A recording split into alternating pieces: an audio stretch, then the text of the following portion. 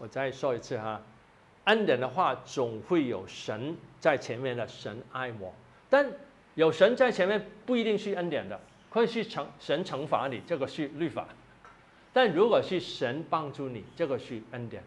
凡是恩典，必有神在前面，这个句子必有神，神帮助你，神看重你，神欣赏你，神会提升你，这个就是恩典。所以我们就留意了，我们的话有没有提到神？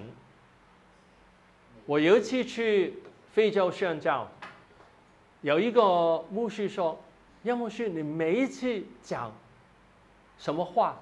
你都必定讲到神的恩典，他留意到这一点。我说什么话都说到神的恩典，因为我的里面我常常数算神的恩典，所以我很喜欢神。